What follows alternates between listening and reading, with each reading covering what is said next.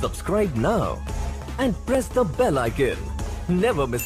हाल ही में मीडिया से एक बहुत ही बुरी खबर सामने आई है। भारत के सबसे पहले सुपरहिट कॉमेडियन राजू श्रीवास्तव को आज दिल का दौरा पड़ा है। जिस टाइम राजू को दिल का दौरा पड़ा, उस टाइम वो जिम में वर्कआउट कर रहे थे। राजू कुछ दिन से दिल्ली में लीडर्स के साथ मीटिंग कर रहे थे और आज जब वो वर्कआउट करने जिम गए तो ट्रेडमिल करते हुए उनके सीने में बहुत ज़ोर से दर्द हुआ और वो एकदम से नीचे गिर गए। उनके जो साथी थे, वो राजू को साथ के साथ उठा के Delhi AIIMS hospital emergency ward में ले गए। डॉक्टर ने राजू को साथ के साथ ही इमरजेंसी वार्ड से सीपीआर में एडमिट कर दिया। राजू श्रीवास्तव की ये बात पूरी मीडिया में आग की तरह फैल गई और राजू को चाहने वाले लाखों फ़ैन सदमे में आ गए हैं। राजू एक गरीब फैमिली से बिलोंग करते हैं। गरीबी की दौर से निकले राजू श्रीवास्तव ने भारत में इतना बड़ा मुकाम कॉमेडी स्टार में हासिल किया है, जो आज तक किसी भी कॉमेडी स्टार ने नहीं किया। राजू इस टाइम बीजेपी के नेता है और उन्होंने नोएडा में फ़िल्म सिटी को बनाने के लिए दिन रात एक किया हुआ था। हम सभी राजू के लिए भगवान से यही प्रार्थना करते हैं कि वो जल्द से जल्द ठीक हो जाए। दोस्तों राजू को लेके आपका क्या कहना है? हमें कमेंट करके ज़रूर बताएँ और अगर आपको वीडियो अच्छी लगी तो वीडियो को लाइक कर दें।